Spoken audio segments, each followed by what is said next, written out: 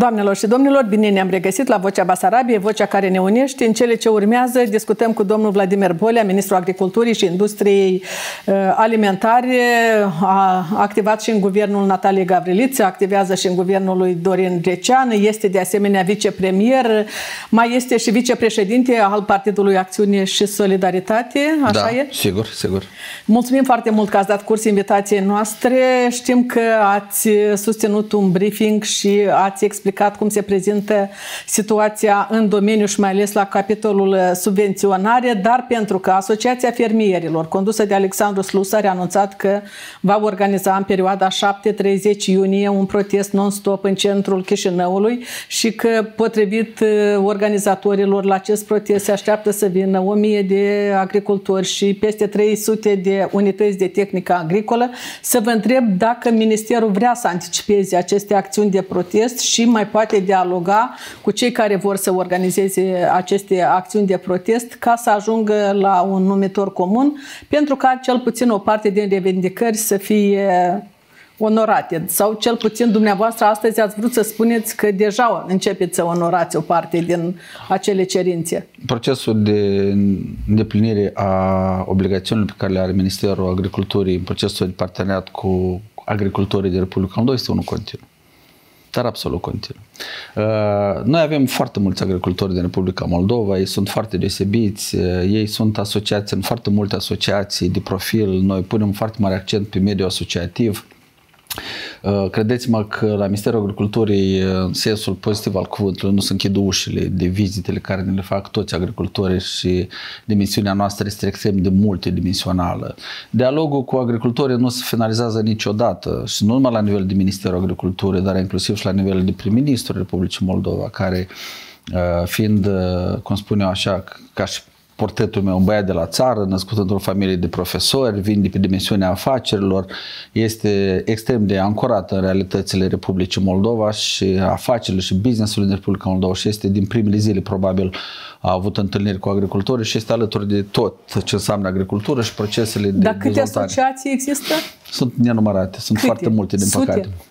Nu chiar sute, dar cred că de cel puțin la nivel de minister noi cunoaștem în jur de 35 sub 40 de asociații de diferite tipuri, dar uh, din cele care sunt mari, dar mai mici, uh, sunt și mai multe. Noi am constituit așa numitele comitete în care noi discutăm uh, la foc continuu, cum ar fi vorba asta românească, cu toți agricultorii, ca să le, ca să le Știți, eu din primele zile am propus în felul următor. Ministerul Agriculturii este partenerul agricultorilor.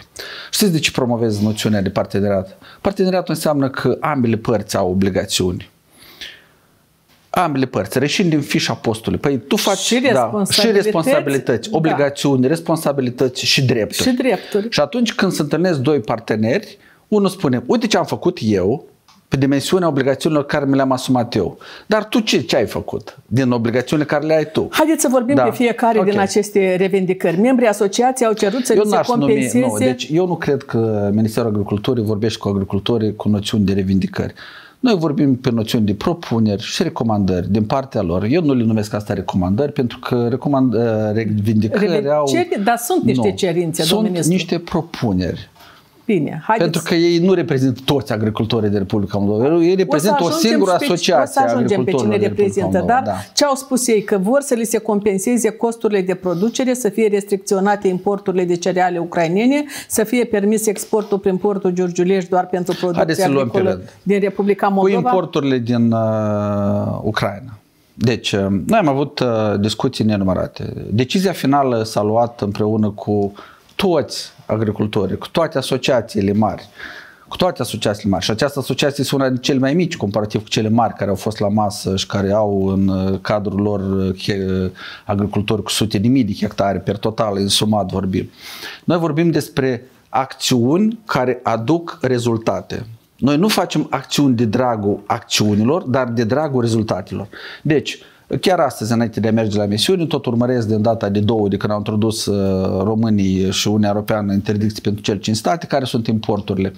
Pe data de 29 au fost importate 10 tiruri de porumb, uh, grâu 0, floarea soarelui 0 și rapiță 0 în toată această perioadă. Deci doar porumb. 10 tiruri. Da. Dar dacă să luăm după datele statistice, doamna Valentina, Apoi vreau să vă spun că noi am exportat cu peste aproape un milion de tone de porumb mai mult decât a fost declarat în Republica Moldova. Adică noi nu că să interzicem importurile, noi ar trebui să interzicem exporturile de Republica Moldova de porumb la nivelul care a fost declarat. Adică este o catastrofă economică de principiu. Stați, dar cum se explică acest păi lucru? se explică că nu se declară cantitățile și suprafețele da. lucrate. Cum? Păi se e iasă aceste cantități și să nu păi fie peste un milion evidență? de tone, exact, exact. Peste 35 de mii, de, da, peste 35 de mii de tone de, de, de rapiți au fost exportate. Și da, noi ne ocupăm acum de digitalizare, pentru că trebuie să introducem într-un registru toate suprafețele care au fost lucrate, înțelegeți? Aici este și credeți-mă că peste 80% din agricultorii din Republica Moldova sunt pe aceeași dimensiune cu Ministerul Agriculturii. Și eu am fost cel care am propus ca măsurile care trebuie să întreprinse în susținerea agricultorilor trebuie să poartă caracter economic, nu de vise, nu din cerere ca să fie îndeplinit sau să fie îndeplinite, dar alături de Ministerul Agriculturii și cel mai important lucru, alături de tot poporul Republicii Moldova. Pentru că dincolo de orice, majorările de prețuri la care visează unii, asta ar fi însemnat majorări pentru toți cetățenii din Republica Moldova la ulei, la pâine, la ouă, la orice. Înțelegeți? Pentru că dacă tu vrei 1000 uh, de euro la, kilo, la tona de floarea soarelui, asta ar fi însemnat de trei ori majorare de preț la ulei pe raft pentru cetățeni. Și noi avem 700 de mii de pensionari. Avem 700 de mii de pensionari. Da, haideți să ducem da. la bun sfârșit gândul referitor mai... la relația cu Kievul, pentru că și Ucraina deci, noi a avut o reacție la și a spus cu că ar putea să interzică nu, și dar Ucraina la întâlnirea... livrările din Moldova. De acord, dar la întâlnirea cu agricultorii, noi am pus pe deoparte. Deci au venit toate asociațiile, inclusiv și exportatorii care noi exportăm. Și s-au luat decizia în felul următor. Accentuez la întâlnirea cu agricultorii din Republica Moldova, care sunt o multitudine, nu o singură asociație, dar toate asociațiile, pentru că noi trebuie să privim în ansamblu. Și Ministerul Agriculturii nu lucrează cu o singură asociație care reprezintă o bucățică mică din agricultori. Noi vorbim despre toți și inclusiv și exportatori. Ce facem cu producătorii de vin și de struguri tehnici? Noi exportăm în primele 5 luni ale anului curent, noi am exportat de peste 11 milioane de dolari, am exportat în Ucraina producție vitivinicolă. Ce facem cu acești producători? Îi închidem pe toți? Ce facem cu vânzarea de struguri tehnice în toamna anului curent când va fi? Mai sunt câteva luni. Ce facem cu ei? Deci, noi trebuia, după părerea lor, să luăm o decizie o decizie absolut nemotivată din punct de vedere economic, dar absolut nemotivată. Pentru că orice cifră înmulțită la zero, dă zero. Dacă tu nu importi nimic, care este pericolul economic de la acest import? Zero, absolut. Asta da, e una. Să, să-mi fie clar mie da. și celor care urmăresc emisiunea. Doar forța fermierilor au, înce- au uh, încercat să vă convingă că e nevoie de uh, alinierea la aceste restricții. Doar ei au susținut această idee. Și Restul tot cel, lor, dar au fost toți în față. Au fost toți în fața noastră și s-au luat decizia. Deci, și eu, inclusiv și, ministru, și prim-ministrul Republicii Moldova, noi eram pregătiți să luăm orice decizie în interesul național și agricultorii de Republica Moldova. Lucrul ăsta să fie foarte clar. Mai mult ca atât, eu am avut ședințele premergătoare. Eu l-am invitat pe ambasadorul Uniunii Europene la Ministerul Agriculturii. L-am informat despre posibilitatea de a susține, de a lua, noi nu putem susține pentru că noi nu suntem țară membru Uniunii exact. Europene, dar de a lua aceleași măsuri care le-a luat țările membre ale Uniunii Europene. După care eu l-am invitat pe Ministrul Agriculturii din Ucraina și a fost la Ministerul Agriculturii și eu l-am preîntâmpinat la fel, despre posibilitatea de a introduce astfel de măsuri în relația cu Ucraina. Uh, să știți că el a venit și el era stupefiat de decizii pentru că el a venit cu extrase, noi nu importăm nimic de la el și o să cum poate fi consecințe? Voi ați importat zero de la 1 ianuarie grâu, zero floarea soarelui, zero, zero rapiță. Și în acest considerent uh, avem până la data de era 1000 și ceva de tone pe toate 5 luni de porumb. Și voi introduceți interdicții consecințe. Ce fel de consecințe dacă voi zero ați importat? Și evident că noi am preluat, eu l-am informat despre această posibilitate, l-am informat pe domnul prim-ministru, Dom- vă spun încă o dată, prim-ministru, Ministerul Agriculturii era pregătit pentru orice decizie. Noi ne-am întâlnit cu toți agricultorii. Și eu le-am propus două modele. Deci unul uh, de luat o astfel de decizie care va avea consecințe foarte grave, conform declarațiilor din Ucraina, pentru exportatorii noștri. Au fost legumicultori din Republica Moldova care au spus că anul trecut au vândut de peste 14 milioane de euro legume în premieră în Ucraina. Anul curent au semănat suprafețe mult mai mari și au sădit uh, mult mai multe legume ca să poată să exporte, adică din start s-au proiectat. Vorbim de 65% din piersi din Republica Moldova se exportă și etc. etc. Toate consecințe foarte grave pentru agricultorii din Republica Moldova care exportă. Deci noi vorbim în total de vreun export de vreo 25 de milioane al agricultorilor din altă plus valoare. De înaltă plus valoare care creează locuri de muncă în satele din Republica Moldova durabil. Nu producători de cereale care sunt taxați numai pe export, dar pe agricultori care produc cereale, nu cereale, dar legume și fructe de înaltă plus valoare și produse de vinificație. Și tot Totuși, da. noi am văzut uh, fermieri din Republica Moldova care au ajuns inclusiv la Bruxelles și au cerut acolo Uniunii Europene, vorba dumneavoastră, Moldova nu e stat membru al Uniunii Europene, e stat, stat din imediata vecinătate, dar acolo, alături de alți fermieri din alte țări, au cerut uh, ca și Republicii Moldova să fie alocate niște fonduri speciale ca din ele să poată fi achitate compensații agricultorilor care cultivă cereale. Deci, uitați-vă, ei au uh, două problema numărul unu este problema economică sau prăbușit prețul. Deci asta este un mare adevăr. Deci asta este un mare adevăr. Și aici noi trebuie să ne oprim și aici este axat Ministerul Agriculturii. Să fie foarte clar, noi nu avem produse pe stoc astăzi și chiar foarte mulți dintre cei care strigă din forța fermierilor că nu știu ce, ei nu au 0 kg pe stoc. Zero. Eu l-am întrebat după ședință, cât grâu ai tu pe stoc pe unul dintre ei? Și am zis că nu are nimic absolut, adică totul păi a vândut. Păi vorbesc la general. Ce să ceară? Vorbesc la general. Dar eu am întrebat, iar am întrebat. Și deci, argumentul dar, lor că prețurile sunt mici? Prețurile sunt mici nu din cauza importurilor de cereale în Republica Moldova din Ucraina. Deci asta este ceea ce vreau să spun. Prețurile sunt mici în general în bazinul Mării Negre pentru că s-au perturbat toate căile de comerț. Deci noi aveam două țări în care noi exportam masiv. 30% de cereale duceau în România, restul în mare așa majoritate duceau în Turcia. Noi cunoaștem că Turcia este membru a contractului ăla cu coridoarele solidarității cu exportul de cereale. Ei luau 25%.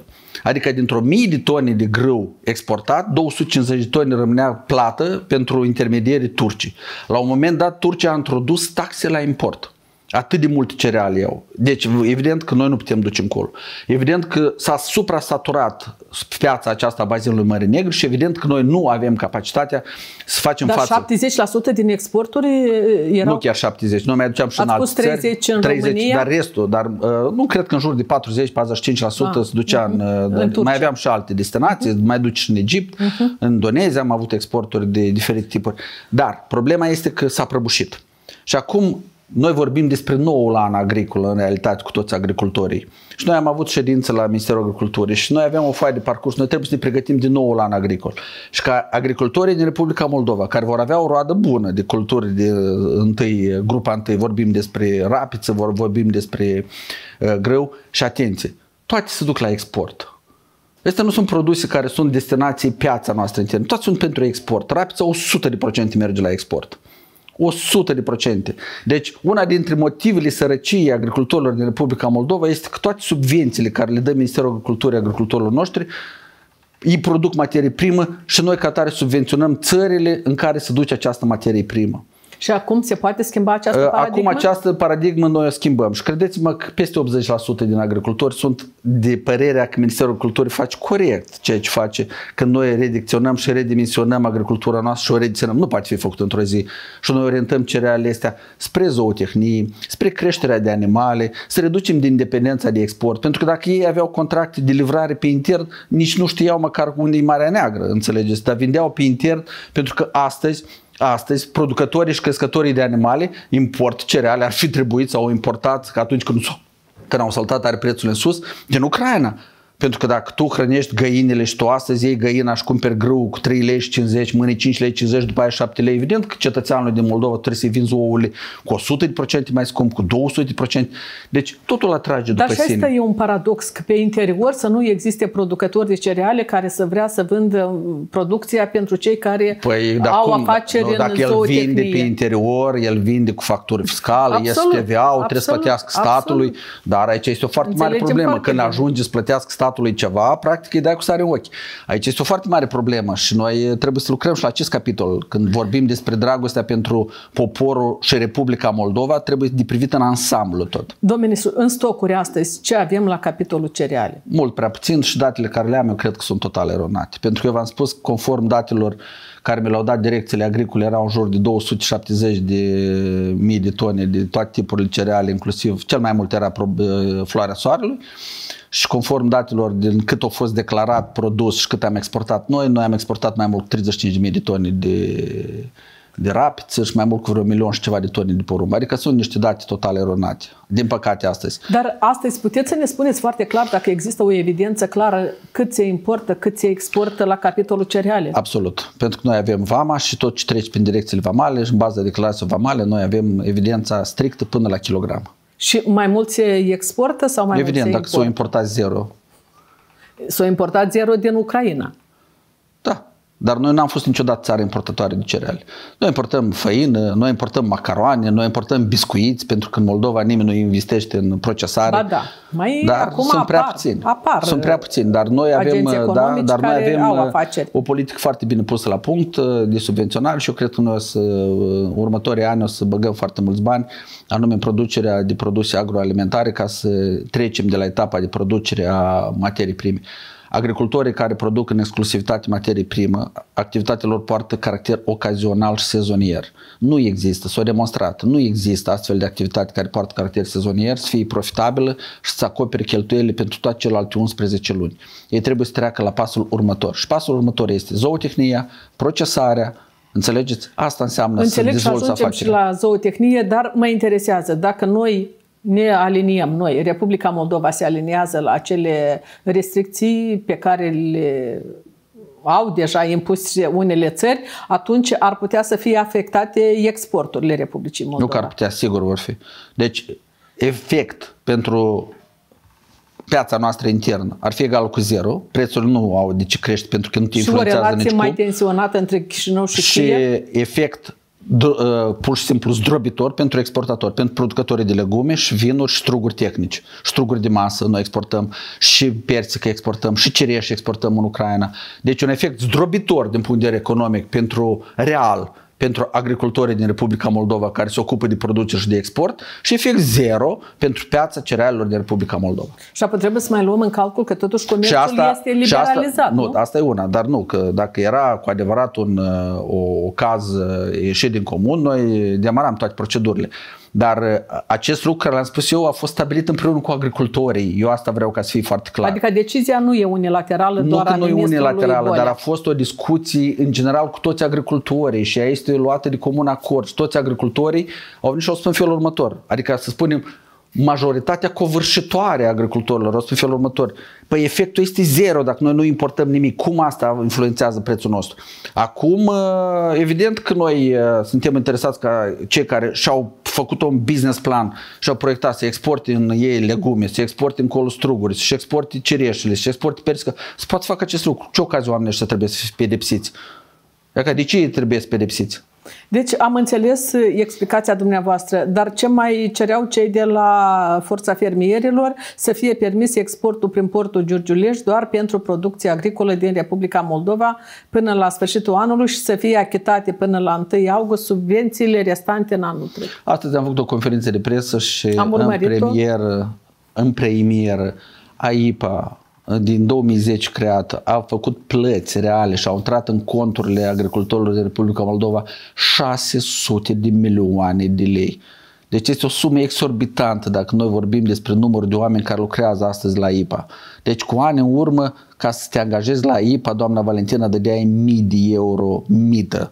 Astăzi oamenii lucrează pe salariu și au și locuri vacante, adică atât de bine să lucrează că nu au niciun fel de efect cu, cu lipitul nu, dar ăsta de spuneau întrebarea de ce sunt locuri vacante, pentru că ar fi Sunt locurile vacante pentru că, exact, locurile vacante și sunt pentru că salariile sunt foarte mici. Ministerul trebuia să argumenteze din punct de vedere financiar noi am argumentat și un deci noi am, specialist noi am, că poate și trebuie să lucreze în cadrul acestei entități.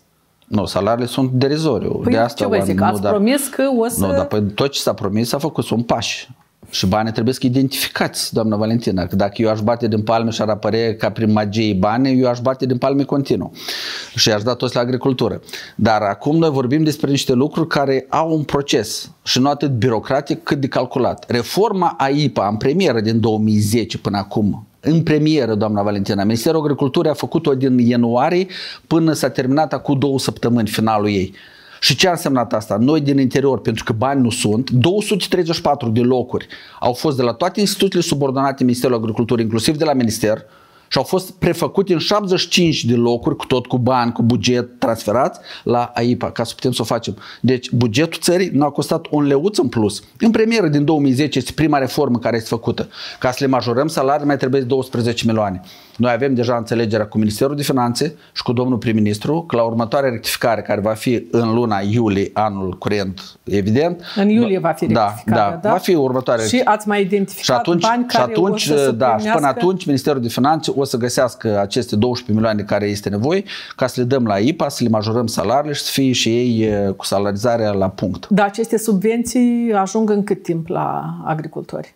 În ce sens? Pentru că unii zic că la cei mici ajung foarte greu. Nu există mici mari. Dar mereu există aud rândul domnule, viu. Nu, deci, mereu nu, aud nu, nu. Noi nu. Agenții... Nu, doamnă, nu. Nu există așa ceva. Este rândul primul venit, primul servit. Mai mult ca atât. Orice agricultor, și tot știu lucrul ăsta, intri online și îți găsești dosarul tău și îl vezi care este rândul și să-l vezi în ziua când tu ți l-ai înregistrat. Deci soarta dosarului tău îl poți vedea la un Soarta distanță, dosarului da? tău îl decizi tu când îl depui. Că dacă îl lași să-l depui în noiembrie, e foarte posibil să fii printre ultimii. Dacă îl pui prin septembrie, octombrie, este evident că tu ai să fii mult mai înainte. Bine, dar oricum s-a întârziat cu aceste Nu s-a subvenții. întârziat cu nimic. Se lucrează ca ceasul elvețian. 600 de milioane. La 16.000 de dosare. Doamna Valentina, noi nu trebuie să folosim cuvinte și le spuneam și colegilor, nu, din, și colegilor din de această dosare. asociație de agricultori. Nu trebuie de insultat oamenii care lucrează cu 6500 de lei și lucrează ca un ceas elvețian și fac plățile la foc continuu. Pentru că omul ăla să-și uite cum da, cât mai mult decât atât să lucreze. Deci îi sunt scoși ori în plus să lucrează ca să poată să proceseze aceste dosare și îi insultă de fiecare dată iesă. Deci noi nu vorbim acolo despre mită, despre condiții aberante, ca omul să vină să-i dea ceva. Nu există așa ceva a priori la Ministerul Agriculturii astăzi și la IPA. Și iese și insultă angajații de la IPA. Deci este inacceptabil. Mai departe.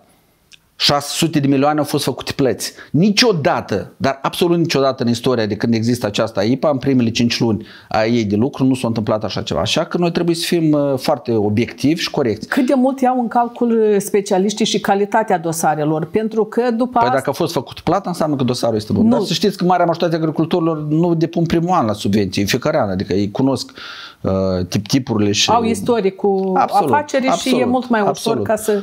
Deci, dumneavoastră, acum credeți că la acest capitol nu mai are nimeni să reproșeze ministerului că nu și-a îndeplinit Deci locurile această 75 cerință. de locuri au fost date și la următoarea rectificare de buget vor fi majorate salariile. După care, noi când am semnat pe data de 5, semnăm finalul proiectul Agre, țineți minte că la noastră emisiune am vorbit, de cele 55 de milioane. Din ele 6,5 milioane merg la AIPA și la ANSA, două instituții ale statului, două agenții ale Ministerului Agriculturii, care sunt extrem de importante. Una trebuie să ne garanteze că tot ce a ajuns pe masa noastră este sigur pentru a fi consumat fără niciun fel de repercursiune asupra sănătății și a doua este axat pe subvențiile în agricultură. Și noi când vorbim despre AIPA, noi o vrem cu softuri de control, noi vrem cu staff uh, foarte bine pregătit și profesionist, noi vrem cu juriști, cu economiști, cu toată lumea pusă la carte, ca la carte. Și din acest considerent noi am prevăzut din start bani care vor merge la aceste două identități și noi sperăm că, în general, să reducem din dosarele fizic depuse, să trecem pe online cu depunerea, analiza dosarelor. Noi vorbim despre... Știți, o, o, încă o mare problemă care o are AIPA noastră este legată de faptul că digitalizarea în agricultură nu a avut loc. Adică noi nu avem o hartă interactivă electronic, programul Ajax de la europeni, încă implementat la noi, încă urmează. Cel mai probabil o să ne adresăm uh, părții române pentru a Am urmărit prelua. și eu niște spoturi spe- uh, sociale și am văzut cât de ușor acum va fi dar probabil Dar noi că vorbim despre... trebuie să existe despre, și acest înțelegeți? interes ca să alfabetizeze cât mai mulți când, angajați din domeniu. Când se va finaliza procesul de, de, de înregistrare electronică a tuturor terenurilor, de cererea va fi depusă în formă electronică cu numărele cadastrale de către cetățean, fără prezența lui fizic absolut.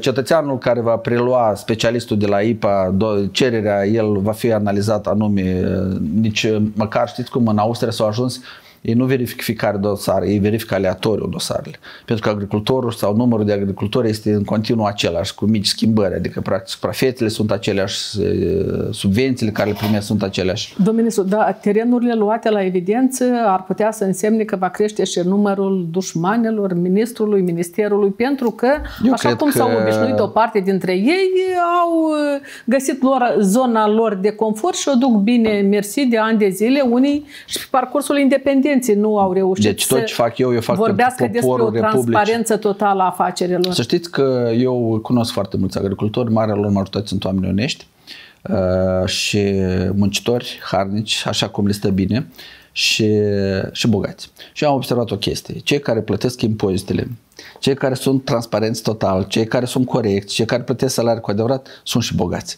Dar cei care fac mișmașuri, cei care vând pe sub masă, care vând fără facturi, etc., sunt și săraci. Adică și statul îl sărăcește și îl privează și nici el nu a ajuns nicăieri absolut. Dar deci, cum explicați stilul ăsta al lor de activitate? O, lipsă de educație, lipsă de educație, lipsă de respect pentru țara ta, pentru tine însuți, pentru că, știți, eu aveam o vorbă și spuneam, păi bun, politicienii corupți și hoți sunt o problemă.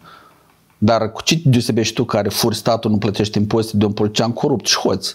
Adică, practic... Dar păi, evaziune fiscală avem multă și Să știți că multă. în țările din Uniunea Europeană, ca Germania sau Austria, evaziunea fiscală este o infracțiune socială gravă, gravă foarte gravă. Și se pedepsește Foarte dur. gravă, foarte gravă. Uh, noi încă avem de lucrat la acest capitol. Legea e blândă. Uh, nu că e legea e blândă, legea este bună. Sau relația, în foarte multe cazuri, relația umană este cea care decide În foarte multe totul. cazuri ea nu se aplică, pur și simplu. Știți cum? Legea de Republica Moldova, seriozitatea legii este anulată anume prin faptul că ea nu este aplicată. Domnul ministru, ați vorbit că latura economică este importantă și că au fost afectate prețurile și că acest lucru îi face pe unii să dispere. Dar pe de altă parte să vă întreb direct și să ne spuneți câtă tentă politică și câtă tentă economică e atunci când se ajunge la organizarea unui protest? Deci, trebuie întotdeauna de privit uh, în felul următor. Cerințele, la ce duc? Dacă, despre exemplu, dacă este o problemă economică, problema economică întotdeauna se rezolvă în exclusivitate cu măsuri economice. Cerințele care sunt înaintate sau propunerile rezolvă sau nu rezolvă problema ta personală? Parțial Înțelegeți? poate fi Da, deci care este problema economică? Să o luăm așa, ca telespectatorii singuri trag concluzia dacă e politic, e economic sau ce este. Deci problema lor este în felul următor. Problema reală, adevărat, obiectivă. S-au prăbușit prețurile la cereale. Pe de o parte, și pe cealaltă parte, în toamna anului trecut, ei au semănat 400.000 de hectare de uh, cereale în toamna anului trecut. Eu pun 400 de mii și rapița, cu toate că rapița pe Republica Moldova nu trebuie să ne intereseze foarte mult această cultură tehnică, dar mă rog, să presupunem că ea este în total exportată. Grâu încă presupunem că consumăm un pic în Moldova, dar restul este exportat. Rapița chiar este toată exportată. Dar nu vorbim de 400 de mii de hectare. Deci ei au folosit îngrășăminte în toamnă, ei au folosit motorină în toamnă și toate la prețuri foarte mari. Da. Este un adevăr. E. S-a format un preț de cost a produsului foarte înalt. Este obiectiv, este real și este adevărat. Ce mă interesează pe mine? Ca în primăvară, când s-au început uh, acum scăderile astea de preț și îi uit așa, deci, spre exemplu, îngrășământul costa 24.000 de lei, acum el costă 11.000 de lei. În jumătate. Om, exact. Omul se uită cam stupefiat la condițiile Sigur. astea. Pe de o parte se bucură, pe cealaltă parte este trist că el a cumpărat cu acele prețuri. Acum, noi vorbim de lucruri obiective și economice. Astea sunt ceea ce le-am propus eu și de aia marea majoritate agricultorilor care erau peste 85% și toate asociațiile, mai puțin cea care o numiți noastre, au susținut ceea ce am propus eu. Adică, noi vorbim despre formarea prețului de cost. Au avut cheltuieli foarte mari, le-a ieșit prețul foarte mare de însămânțare la un hectar. Deci, în primul rând, anul curent va fi roadă mare, bună, bună va fi, de grâu și de rapiță, va fi o roadă bună. Mai sunt câteva luni să începe colectarea Recoltare. ei, recoltarea. Eu cred că rapița la sfârșitul lunii iunie va fi deja de cules, dacă o fi cald și bine și tot așa mai departe. Mai departe, deci, una la mână, suma aceasta de bani se împarte la o cantitate mai mare per kilogram. A doua, noi subvenționăm în totalitate și, și banii au fost dați. 100 de milioane deja noi avem în plus ca să dăm acciza înapoi. Deci când noi vorbim de prețul la motorină, noi trebuie să înțelegem. Agricultorii nu cumpără de la pomp cu 20 de lei. Așa. Deci 20 de lei conține 20% TVA care trebuie scos pentru că ei sunt toți plători TVA și iau în cont. După care, adică nu sunt bani care noi punem în calcul, minus 20% deodată. După care, 3 lei și 10 bani noi vorbim despre acciză, noi o rambursăm integral. Deci 100 milioane... Din, din banii aceștia, pentru primele 6 luni, inclusiv ultimele 2 luni ale anului trecut, noi le rambursăm acciza în bază de factură fiscală. Da. Ai cumpărat-o, noi îți dăm înapoi acciza. Și a treilea, ei cumpără angro. Adică în final, dacă noi la pomp vedem că e 20 de lei, kilolitru la ei, la litru adevărat, motorin poate fi 11-12 lei. Noi trebuie să fim foarte clari și obiectivi. Rămâne următoarea problemă. Noi vorbim despre îngrășământ. Da, au fost prețuri exorbitante. Iarăși, 24 de mii, tona, scoatem 20% TVA pentru că și l-au luat în cont. Noi trebuie da. să vorbim întotdeauna fără TVA. Da. După care am vorbit cu domnul prim-ministru și domnul prim-ministru susține, noi trebuie să găsim bani, să subvenționăm, anume cuvântul, să subvenționăm acest îngrășământ folosit de agricultori în toamna anului 2022 pentru însămânțarea acestor 400 de mii de hectare, roada cărora o să o vând acum, dar în bază de factură fiscală. Ce înseamnă asta? Sunt foarte mulți care nu au folosit îngrășământ în toamna anului trecut. Adică el nu are ce să-mi spune mie că el a dâns să forma prețul de 16.000 de lei la hectar, dacă tu n-ai folosit îngrășământul. Tu vii, că a fost greu și să fie importat. Nu contează. Noi vorbim de lucruri obiective și reale. Adică și dacă tu ai făcut cheltuiala, noi, exact, noi trebuie să venim să te ajutăm pe tine să-ți restitui din această cheltuială toate aceste lucruri. Una, 10 bănuți reduce din preț. Spre exemplu, ți este în final 15.000 ai avut la hectar, cam atât au fost. 15.500, cam atât au fost uh, calcule în mediul la un gospodar care și-a sămânțat un câmp uh, cu grâu în toamna anului trecut. Astea sunt date din contabilitate, date de agricultori veridici, adevărat, veritabili. Și dacă împărțim la un 5 tone de grâu, dar anul ăsta nu o să fie mai puțin 5 tone, chiar dacă o să declare 2,7, tradițional cum se declară, dar vor fi în jur de 5, 4,5, 5 tone, rămân 3 lei. Și scădem în jos. Ai scăzut acciza, ai scăzut uh, la îngrășământ, care este sensul la ce spun eu? Pe mine mă interesează ca agricultorul din Republica Moldova să poată fi competitiv cu cereale din Ucraina pe piață și să vândă fără ca să se oprească din procesul de vânzare. Adică prețul lui de cost să fie mai mic decât prețul lui de vânzare, să-și acopere toate cheltuielile care le are și să-și poată vinde marfa să nu rămână pe stoc. Da, iată aici încă o precizare se cere din partea dumneavoastră, domnule ministru. Ați spus și că um, ar exista aproxim, evaluări aproximative când e vorba cât se obține la hectar. Pentru că eu tot discut cu unii din lideri și îmi zice, dar nu, eu am anunțat că în loc de, eu am de recoltat 5, dar am anunțat că 3. Iată, Cine duce evidența? Uh, toată evidența se duce în baza declarațiilor făcute de ei. Eu am să vă dau un de exemplu. Propriu. Absolut. Și este despre nimic. Este despre nimic declarațiile. Uh, eu am primit rapoartele pe raionul Florești în 2021, pe mine m-a interesat. Deci în 2021 a fost un an în care băgai un băț în pământ și făcea miere până în toamnă. Înțelegeți? A fost un an atât de roditor. Și în jur de, de la 5 până la 7% din producătorii agricoli din raionul Florești, da, un raion, au declarat că au avut roadă de 9 tone sau de 10 tone 500, restul toți pe linie au avut 5 tone până 6 tone de porumb, ceea ce nu este adevărat. Adică cantitățile sunt totdeauna duble. Dar statistic, Datorită acestei statistici, noi am reușit că în zona între România și Ucraina, Republica Moldova are cea mai proastă productivitate de cereale. Adică bunelul meu cu boi când ara avea 2 tone jumate în 46 6 ani de secetă. Astăzi tu cu tractor John Deere, cu tehnologii moderne, cu investiții de câteva milioane de lei, produci cât producea bunelul meu cu boi în câmp.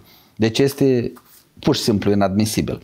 Evident că lucrurile astea toate noi nu le mai acceptăm în continuare și evidența va fi dusă până la capăt și înregistrarea va fi dusă până la capăt. Ia că de aici și-a ieșit milionul ăsta de tone pe care noi l-am exportat neavându-l în realitate. Nicăieri declarat nicăieri declarat. Deci ceea ce se declară și ceea ce este în realitate sunt lucruri total diferite. Eu am fost la o întâlnire cu exportatorii noștri de miere și o doamnă stătea și spunea, să știți că eu sunt foarte optimist în ceea ce privește în viitorul agricultorii Republica Moldova, pentru că avem un număr foarte mare de agricultori uh, foarte maturi care au obosit de feștișlețele astea așa toate, de toate copilărismele astea, de minciunile astea, de lipsa asta de maturitate și ea spunea, spune că păi dați ne oprim o dată din exporturile astea cu mere, cu factură pe care mărul, kilogram de măr costă 5 cenți. 5 cenți kilogram de mere la export, înțelegeți? Astea sunt facturi la care s-o plătit impozit, restul banii vin cu dânsi în sân. Și multe, multe alte lucruri. Adică, practic, noi avem o clasă de agricultori, bine formată, analizată, gândită, care este aliniată la cerințele, nu că a Ministerului Agriculturii, dar a cerințelor economiei de piață, care înțeleg ce înseamnă asociere. Da, încă nu au făcut cooperativ, dar au făcut grup de producători. Da, grupul de producători deja este un pas înainte. Da, au făcut asociații de profil profesională, unde își ridică capacitățile lor absolut. Pentru că dacă tu ești membru a unei asociații profesionale bazată în exclusivitate, eu nu o să mă obosesc niciodată spun lucrul ăsta, pe rezolvarea problemelor tale economice, marea majoritate a problemelor care se ciocnesc agricultorii, inclusiv din această asociație, ele ar putea rezolva de unii singuri. Ei și le-ar rezolva de unii singuri dacă ei s-ar asocia. Domnule ministru, ce mai aud eu de la oamenii simpli? Pentru că mulți dintre ei și-au dat terenurile în arendă. Da. Și le-au dat în arendă liderilor. Liderii uneori au o atitudine total neomenoasă față de acești oameni, pentru că chiar la Dondușeni și la Rășcani am întâlnit oameni care spun că de ani de zile îmblă după lider ca să-i dea acea cotă, cotă care... Și tot l-a amăgit pe bietul om, că răsărita a fost de proastă calitate și nu am făcut făcut ulei și nu am, ți-a mai dat uleiul, că porumbul nu a rodit, că grâul nu știu cui l-am dat și nu a mai rămas și la anul viitor o să-ți dau. Am întâlnit foarte mulți oameni din uh, aceștia. Da, și este o problemă foarte răspândită în Moldova. Pe această cale vreau să mă adresez că sunt uh, bucuros că particip la această misiune. Cetățenilor din Republica Moldova, mergeți către lideri și faceți contracte dar Pentru sunt că, litigii, nu, credeți-mă că nu au. Sunt nu, dar nu, cei care au, dar îl poate da în judecat. Dar nu au contracte. Deci adică nu are niciun cuvânt, contract. Pe ochi nu, da, pe cuvânt, pe ochi frumoși. Ochi frumoși, cuvânt nu ține. Faceți contracte cu acești antreprenori în agricultură, stabiliți cu ei cota cât trebuie să vă plătească în bani, în cantitățile de toate, absolut. Dar omul poate să-l oblige pe lider pentru că liderul știți cum, du-te acasă și caută de treabă. Deci prelucrarea pământului fără contract este ilegală în realitate. Deci astea sunt suprafețele care nu sunt declarate. Și aici, sunt suprafețe care nu sunt declarate. Și când întrebăm de ce nu declarați, cetățenii nu vor să facă contract. Păi de ce nu vrei să faci un contract? Pentru că sumele de bani nu sunt atât de mari, nu depășesc limita imaginației sau a... Iată, această minimului. nemulțumire o mai aud din partea oamenilor și o alta, că încă nu e rezolvată problema cu cota valorică. Sunt localități unde cetățeanul și primăria... Cota valorică din clădiri. Pământul e dat la toți. Pământul e dat, da? Doar uh, Clădirile. Și acum Parlamentul da? doar a votat legea asta și va fi modificată. Eu adică... am auzit că cotă valorică, inclusiv el a lucrat în gospodărie și gospodăria agricolă nu a reușit cu el să-și rezolve Când relația. vorbim despre pământ, e mai mult part caracter de excepție, dacă nu și-o primi cota în pământ, decât alege. Dar când vorbim despre cota valorică în tractoare, combine, ferme, depozite, de teritoriul fostului Eu am fost la Cicileni și la Cicileni mi-au vorbit despre cota de pământ. Adică mai sunt încă cazuri care ar trebui să aibă un deznodământ, pentru că de aici, iarăși, e nemulțumirea cetățeanului că autoritățile nu mai pleacă urechea la necazurile și problemele lui. Da, e de la caz la caz, dar per total s-a finalizat procesul de împroprietărire a țăranilor cu pământ. Astăzi noi, Parlamentul, slavă Domnului, a găsit acea posibilitate și se ocupă de elaborarea și au făcut proiectul de lege Uh, prin care se rezolvă problema și cu acele cote valorice care stau ca niște ruine deja în majoritatea cazurilor în toate satele. Și, 30 de ani au trecut. Da, exact. Toate s-au ruinat. Noi vorbim despre utilaje agricole care nici nu mai există deja. Noi avem la Intehagro o listă de vreo, cred că 40 de mii de unități, tractoare, diferite utilaje agricole, care și evident că nu mai există. Așa? Dar ele la noi stau în evidență și nu trece nimeni niciun fel de inspecție tehnică periodică. Noi acum uh, elaborăm un proiect în baza căruia atunci când se merge să se facă inspecția tehnică periodică, dacă pe acel agent economic mai sunt și alte tipuri de utilaje care el deja nu mai trece inspecția, să-l declare cu ele, că să, le, să înceapă procesul de radiere, discuția cu agricultori, pentru că noi avem o, o cifră exorbitantă de tehnică agricolă, adică mai mult este inexistentă decât cea existentă. Timpul trece repede, dar da. am foarte multe întrebări. Uh, am vorbit despre cereale, situația cât de cât e clară cu revendicările sau cum le ziceți, sugestiile care au venit din partea Asociației uh, fermieri, uh, Forța Fermierilor, e clar. Haideți să vorbim despre zootehnie, am abordat de mai multe ori subiectul cum se prezintă situația, ați spus că e nevoie de multe investiții, ați spus că vor fi politici care vor permite să fie dezvoltate afacerile în acest domeniu, dar unii cred că prea încet se mișcă. Nu, e prea încet, e așa cum poate fi, pentru că vorbim despre un credit pe care le ia poporul Republicii Moldova și care va fi investit în zootehnia din Republica Moldova.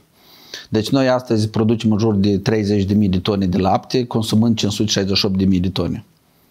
Este o cifră pur și simplu în derizoriu. Noi uh, avem, uh, slavă Domnului, Asociația Crescătorilor de Vaci de Lapte, noi avem în jur de 251 de ferme, niște agenți economici foarte și foarte bine bazați. Deja vorbesc despre cooperativă, i-am trimis în Polonia prin programul SAID, s-au întors înapoi, vorbim de camere agricole și asta înseamnă că noi dăm 25 de milioane Uh, începând cu luna august cel mai probabil, pe data de 5 semnăm că e o parte componentă a acestor 55 milioane, 5 se finalizează, după care va fi bani investiți în fermele de vaci de lapte alături de agricultori. Adică va fi componentă de grant 50% și cealaltă parte de investiția lor va fi subvenționat cu 60%. Adică sunt niște chestii care vin să facă ca agricultorii din Republica Moldova să se reorienteze. Deci, inclusiv cei care astăzi au 1000 de hectare, 800 de hectare de cereale, să nu fie dependenți de export. Activitatea de producere pentru export pare a fi una foarte ușoară, dar ea este extrem și extrem de neprofitabilă. Eu am fost la uh, ședința cooperativei Agrostoc, o cooperativă agricolă din Republica Moldova. Deci am ascultat raportul lor. Conform datelor lor, ei au avut o cifră de rulaj foarte mare, ei sunt o companie, sunt 140 de membri în această cooperativă, e ceva impresionant ca și activitate. Deci eu vreau să spun că adaus comercial care l-au avut ei per total la cerealele exportate prin cooperativa lor a fost de 3,04%. Doamnă, nu poți cu 3% să faci afaceri, business și să fii profitabil. Nu poți. Deci nu poți. Chiar dacă tu ai această o mii de hectare ale tale, nu poți. Matematica e o chestie extrem de exactă și foarte dură. Nu poți.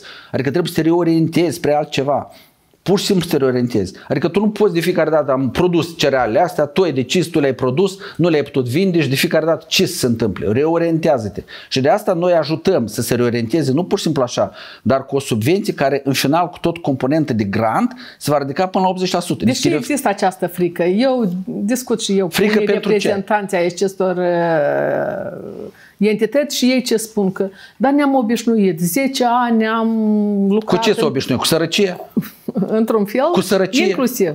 Deci în 2020 au fost săraci pentru că era secetă, în 19 săraci că secetă, în 21 săraci că au fost prea mult, în 22 iarăși din cauza Ucrainei. Adică practic eu cred că problema este cu totul alta. Componenta, componenta economică lipsește cu desăvârșire în tot ce vorbesc ei.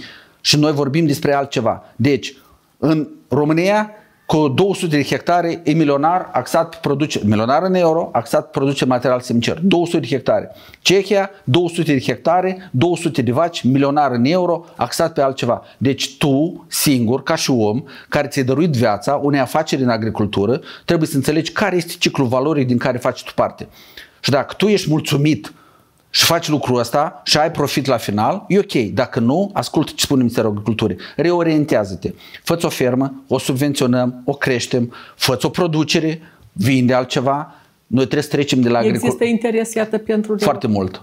Există. Da? Foarte mult. Să știți că moldovenii în general sunt un popor foarte luminați. Foarte luminați. Și cu gândire pragmatică și cu analiză sunt foarte mulți, mai mult de 80 ceva la sută oameni orientați foarte și foarte bine, care fac analizele foarte bine, care stau cu pixul în mână, care sunt alături de minister și construiesc relații de parteneriat. Și atunci de ce trăiesc greu și rău așa cum Pentru că nu, că am reușit foarte multe lucruri împreună cu ei să le schimbăm. Am uh, vorbit și mai continuăm să vorbim despre situația în zootehnie. Ați spus că veți pune un accent aparte pe procesare, pentru că e nevoie de o industrie alimentară, nu? Absolut. Noi avem mai mult teren agricol ca o Olanda Înțelegeți? Mai mult teren agricol ca Olanda. Olanda este pe locul 2 pe glob la exportul de produse agroalimentare. Noi importăm macaroni. Noi avem mai mult teren agricol decât Slovenia. Aia 1300 de, 1.300.000 de hectare. Noi avem 2,8 milioane de hectare teren agricol.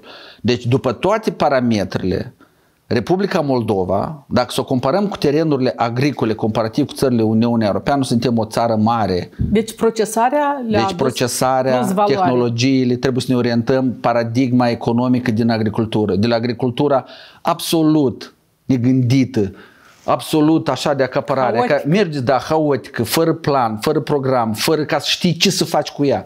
Ia că dumneavoastră circulați foarte mult. Opriți-vă odată la viță de vie dacă o să-l vedeți pe unul care și-o curte, trebuia să-l cui să vinzi strugurești în toamnă? Ai un contract, ceva? Cui să vinzi strugurești în toamnă? Ai contract. Pentru ce faci tu Și în lucrul ăsta? toamnă ei învinuiesc autoritățile că autoritățile nu au grijă ca ei să aibă piața de desfacere. Exact. Dar când tu arunci într-o un singură zi cerc sute de închis. tone, exact, când tu arunci într-o singură zi și noi de pe acum le spunem, dragul meu, mergi la următorul frigider de lângă tine, semnează cu el contract. Acum semnează contract. El o să-ți spună cerințele pentru strugurii tăi, cum trebuie să-i stropești, cu ce trebuie să-i stropești, cum trebuie să lucrezi acești struguri și în toamnă el o să ți cumpere. Nu la 1,50 lei la 2 lei în fuga mare, dar în disperare, dar o să ți dea la preț. Pentru că toamna anul trecut, noi nu asta emisiune aici. În toamna anului trecut, struguri, când s-a finalizat bătaia aceea de joc cu 2 lei 50, 3 lei cumpărarea, la două săptămâni deja era 17 lei kilogram de struguri Moldova. Era deja.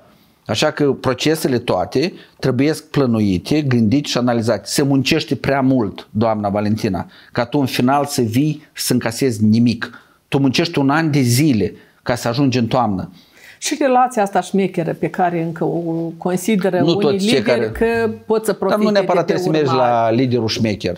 Deci tu ești liber să-ți găsești uh, cumpărători, greu, să semnezi e un contract. greu. Dar noi avem producători, noi avem procesatori, noi avem, la urma urmei, dacă suntem 4 sau 5 gospodari, noi ne putem asocia. Domnul ministru, dar dacă mergem în niște sate uitate de țară și de Dumnezeu, acolo o să vedem în ochii oamenilor această Eu deznădejde că ei sunt departe de capitală, departe de cei Pentru care ca ei să fie pot în- să vină să- în ajutorul lor. Anume ca să reducem din această restanță și din depărtarea micilor agricultori despre care vorbiți noastre, noi chiar astăzi am avut împreună cu programul SAID uh, o ședință de elaborare, adică noi am vorbit despre camerele agricole care vor fi din 24 viabile pe teritoriul Republicii Moldova, camere agricole care vor promova anume în procesul de incluziune a tuturor agricultorilor în procesele decizionale. Ei își vor alege conducerea, ei vor face o parte componentă din camerele agricole și atunci de la ultimul sat îndepărtat până la cel din centrul capitalei sau de oriunde, absolut,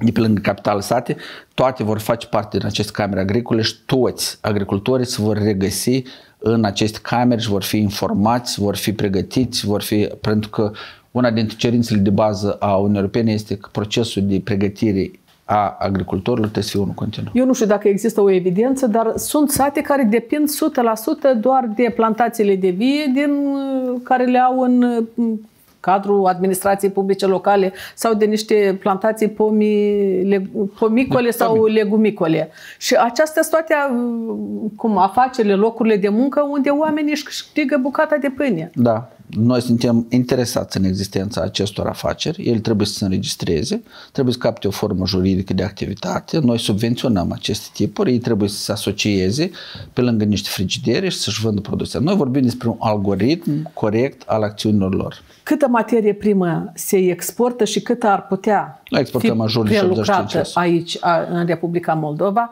și câtă plus valoare ar putea aduce procesarea? De ordinul miliardelor de lei dacă facem procesare.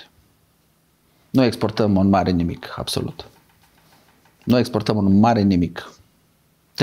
3% adaos comercial are exportatorul, dar uh, cel care o produce nu are nici atât.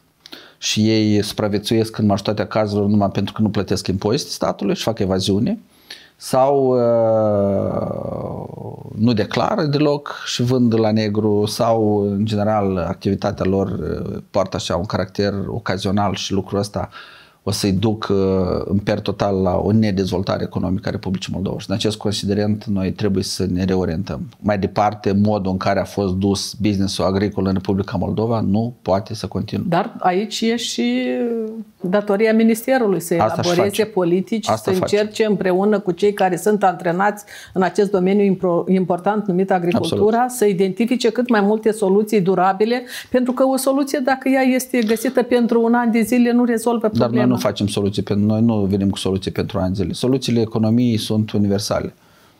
Noi ne descoperim bicicleta, noi venim și aducem aproape de agricultori soluțiile valabile și viabile din economia mondială, regională și de pe alte locuri. Pentru că elementul de concurență nu poate fi anulat de către Ministerul Agriculturii. De asta noi vorbim despre relații de parteneriat. Ministerul nu poate face nimic în locul agricultorului. E adevărat, dar împreună, dar absolut, dar dar împreună, împreună puteți da. face multe. Și nu poate face nimic de unul singur. Cât de tare nu m-aș strădui. Eu nu pot să sădesc în locul lui, eu nu pot să-i aleg lui soiurile, eu nu pot să-i fac lui arătura conform fișii tehnologice, eu nu pot să-i duc evidență, eu nu pot să-i vând producția, eu nu pot nimic din toate astea. Astea sunt ale lui. Dar și el o trebuie să vrea strategie lucrul ăsta. clară Dar strategia, pentru sigur cum că trebuie avem. să se dezvolte sigur. acest Dar să știți sector că marea important, majoritate agricultori, noi avem deja îi revine agricultori. ministerului. Noi când o să facem camerele agricole în 24, eu cred că noi deja avem uh, agricultori care pot da lecții la alți agricultori de bune Știți încă practici. ce mă mai surprinde pe mine deseori? Un contrast foarte mare. Oameni care reușesc și chiar au ajuns cu plantații de pomușoare, de legume, de fructe, să facă povești adevărate din afacerile lor și să ajungă să desfacă producția și în Germania, și în Italia, și în alte țări din Uniunea Europeană. Și peste drum sau alături unde fie că e lăsat în paragină, fie, care, fie că omul vorbește mai mult că nu-i trebuie nimic, se lasă, nu are încredere în nimeni și în nimic. Uh, și dacă o să vorbiți și cu unul și cu altul, o să vedeți că diferența de unul și de altul sunt cunoștințele. Cel mai scump lucru pe care poți să-l câștigi este, sunt cunoștințele. Cel mai scump lucru. Sunt cunoștințele și... Dar oare există om care nu ar vrea să învețe, care nu ar vrea să stăpânească Păi, situația? uh, păi dacă nu înțelegi cum trebuie să procedezi și cum trebuie să faci, probabil. Iată, acuș va începe sezonul de culegerea cereșilor, așa? Multă lume, inclusiv de la Trușeni, din părțile astea din centru, ziceau că au vândut cereșile pe piața Federației Rusie. Astăzi am auzit, de exemplu, că este doamna Mariana Păslaru care vinde în Olanda cereșe. Dar există un fel de invidie a celui care astăzi nu mai poate și a celui care astăzi poate mai Dar mult. ce înseamnă nu mai poate? Cine îl încurcă pe ăla din Trușeni să meargă în Olanda și facă contract? Să-și facă o persoană juridică, să aibă control asupra fertilizanților care a Cereșele folosit. se coc, mâine, poi mâine nu, dar, trebuie o dar, strânse. nu, dar toate lucrurile astea se face de începând de luna ianuarie. Să intri într-o asociație, asociația te ajută să-ți găsești vânzarea, cumpărarea, tu faci parte dintr-un lot mare, pentru că tu dacă ai, spre exemplu, o cantitate de 20 toni, ți vine foarte greu să vezi. Dar dacă tu intri într-o asociație, asociația spune că, uite, noi am găsit un cumpărător, ăsta cere 1000 de tone, uite, doamna Păslaru poate spune 700 de tone sau 300 de tone, cât mai punem până la 1000 de tone, facem un lot de produs omogenizat, îl ducem printr-un depozit, proces de răcire, noi știm care sunt cerințele din partea cumpărătorului, asta se face tot anul împrejur, nu vii înainte de a culege cereștile și cauți cumpărător, că evident că nu-l găsești. Evident că nu-l găsești. Sau îl găsești la niște prețuri derizori. Deci toate aceste lucruri se fac în cadrul asociațiilor strict profesionale de profil. Și noi le avem în Republica Moldova și sunt foarte și foarte bune și reușite. Dumneavoastră a spus că totuși ga- gradul de cunoaștere, gradul de cunoștințe foarte diferit. Este foarte diferit. Dacă îl vedeți Și- bogat de succes și de avut, știți că învați continuu. Dacă îl vedeți că nu reușește, înseamnă că undeva s-a blocat în procesul de studii și nu este deschis pentru a primi informații nouă. Care este viziunea dumneavoastră pentru un sector, un sector agricol sustenabil? Un sector agricol sustenabil este dezvoltat pe orizontală, pe tot lanțul valoric și legat de pământul Republicii Moldova. Noi vorbim de producerea materiei prime, procesarea, până când produs final ajunge pe raftul din magazinul din Republica Moldova, la, pe masa cetățeanului din Republica Moldova. Regionalizarea, ridicarea uh, la rang de politică de stat, constituirea și dezvoltarea fermelor de familie, în baza cărora se dezvoltă localitățile rurale, pe modelul austriac ferme de familie, nu companiile astea mari. Pentru că ăștia care au 1000 de toni, el este la fel ca și monopolistul cel care are 40.000 de toni. El face aceleași trei tipuri de culturi, el lucrează 3-4 luni pe an, după care închide și trimite pe toți acasă și s-a finalizat procesul. El nu are o fermă, el nu are brutărie, el nu are niciun fel de dezvoltare a localității rurale. El este identic cu cel mare. Și pe mine mă interesează fermele de familie care trebuie să fie multe, inclusiv uh, pentru care noi trebuie să găsim programe de subvenționare și noi să schimbăm și legea și să le numim și pe baza lor, baza lor, noi trebuie să dezvoltăm satele și împrejurul lor să readucem viața în satele noastre. Dar dumneavoastră vreți ferme moderne și acest, la aceste ferme să fie crescute ce animale? Deci acum vorbim despre vaci de lapte, dar în realitate noi uh, cred că o să mergem și pe dimensiunea dezvoltării oeritului și căprăritului, care este foarte de, ar, ar, s-ar preta foarte mult pentru sudul Republicii Moldova. Dar la sudul Republicii Moldova poate fi dezvoltat și vacile de lapte, dacă are terenul nicio problemă absolut. Pentru că în Franța, cu produsele de brânzeturi, de ce mai este acolo, care se fac din, de la ovine, ovine caprini, sunt la mare căutare și au un preț foarte mare. Uh, da, și noi avem unul dintre obiective împreună cu asta, ca în următorii doi ani să fim listați ca țară din care se poate de exportată Uniunea Europeană produse lactate. Mai sunt și ferme de iepuri? Avem două ferme. E puțin pentru Republica Moldova? Uh, păi, probabil ei o să vor dezvolta. Noi am uh, egalat pe ei la nivelul subvenționare ca și avicole, pentru că erau, din punctul meu de vedere, sub, uh, sub nivelul de subvenționare și acum noi am ridicat la nivel înalt. Este o carne dietetică foarte sănătoasă, produsă în Moldova, din cereale din Republica Moldova și eu cred că noi trebuie, noi trebuie să ne învățăm să mâncăm mai puțin, dar mai bun.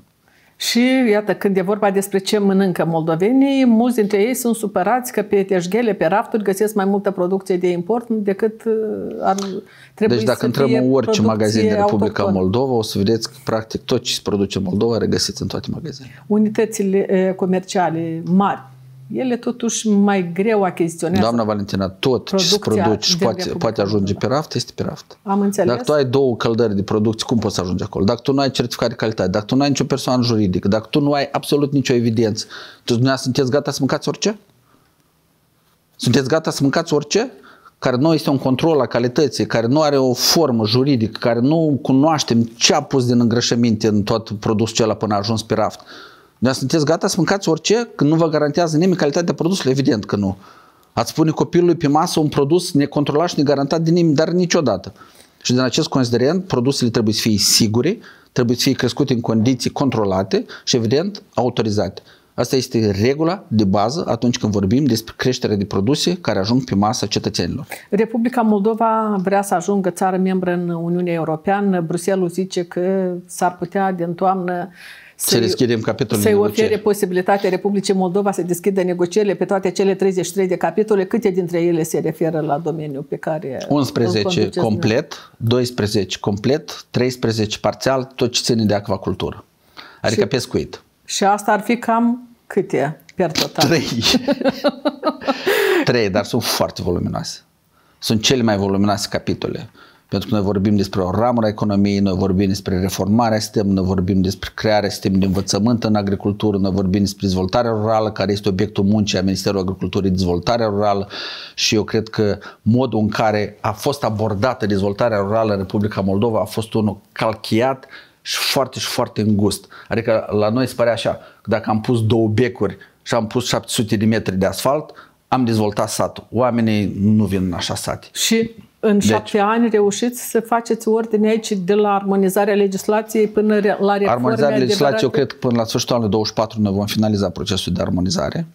Dar uh, celelalte lucruri necesită un pic mai mult timp uh, pe model că trebuie și investiții. Adică trebuie de creat agenții noi care se ocupe de implementare, inclusiv la capitolul 13 avem de dezvoltat, o, de creat o agenție pe acvacultură, pescuit și pe multe, multe alte lucruri care se ocupă de implementare. pescuitul, unii zic ce are de a face situația din Republica Moldova cu aceste Avem iazuri, avem capitole. râuri, avem iazuri, râuri, exact, avem iazuri și râuri.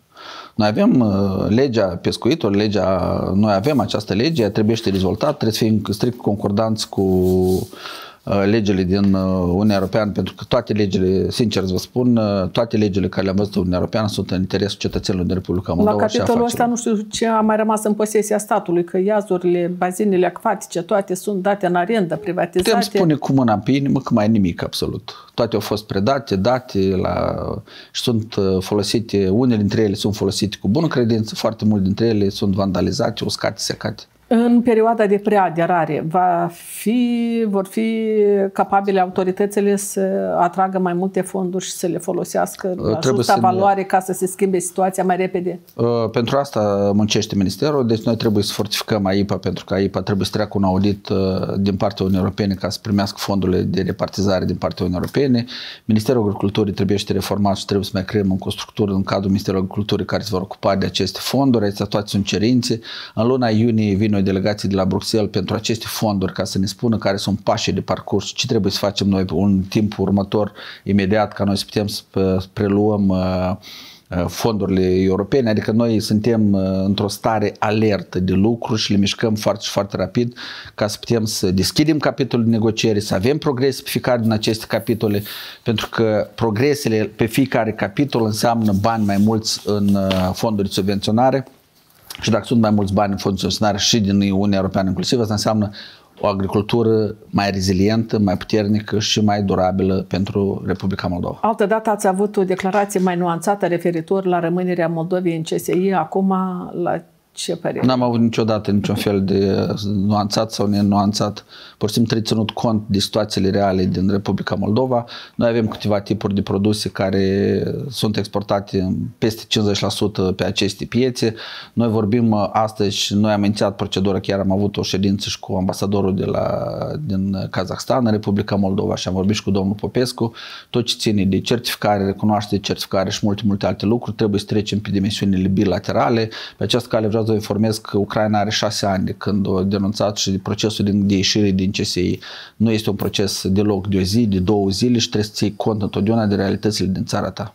Deci, și de interesele economice ale cetățenilor din țara ta. Dar contează foarte mult și de dialogul pe bilaterală. Pentru Absolut. că dacă se mișcă repede situația pe bilaterală, atunci ar putea să nu fie atât Noi de ne mișcăm pe bilaterală, noi am început, vă spun, noi am început procedurile, relații. noi trebuie să recunoaștem certificatele fitosanitare, noi trebuie să recunoaștem toate, toate documentația pe bilateral cu toate aceste state, să fie în afara platformei CSI-ului și atunci va fi foarte bine. De lucru este mult? Este foarte Vă mult. Vă sperie? Deloc. Deloc? Deloc.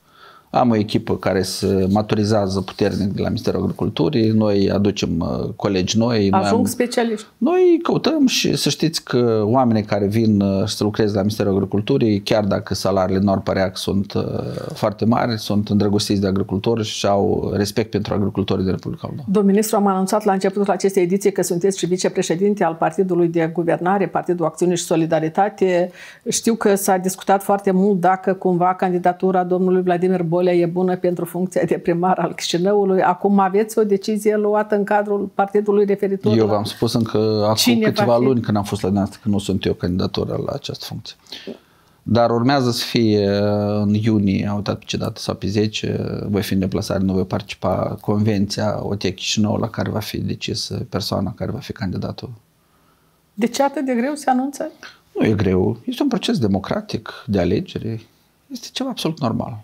Democrația întotdeauna înseamnă un pic uh, în timp, dar uh, știți cum, pasul în hamă greu, dar merge repede. Și chiar pe final, foarte scurt, ce semnificație va avea acest summit al comunității politice europene organizat de Republica Moldova? Uh, va fixa rezultatul din 21 mai, când poporul Republicii Moldova a venit încă o dată și a...